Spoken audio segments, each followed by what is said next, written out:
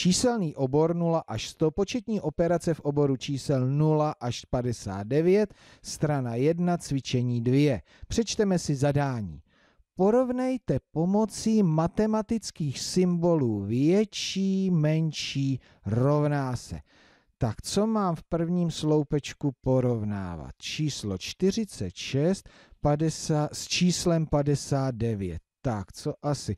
Mohl bych si to znázornit, ale 46 koleček a vedle toho 59 koleček, tak to se mi teda vážně nechce. Ale mohu si to ukázat na číselné ose. Takže 46, 46 se nachází tady a porovnat s 59, to se nachází tady.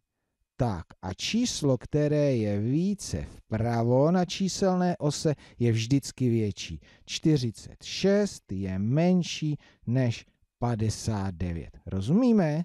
Takže můžeme si pomoci takto. 46 je menší než 59, ale, a to si ukážeme na tom dalším, můžeme se obejít i bez číselné osy, protože nejdříve porovnáme desítky, 46, 47. To je stejné, takže desítky nám nepomohly. Tak se podíváme na jednotky a co jednotky? 6, 7. 6 je menší než 7. 46 je menší než 47. Tak to tady najdeme. Tak, pokračujeme dál. 43, 52. Tak, 43, 4 desítky, 52, 5 desítek. Mm-mm, ne, stačí mě. Tohleto 43 je menší než 52.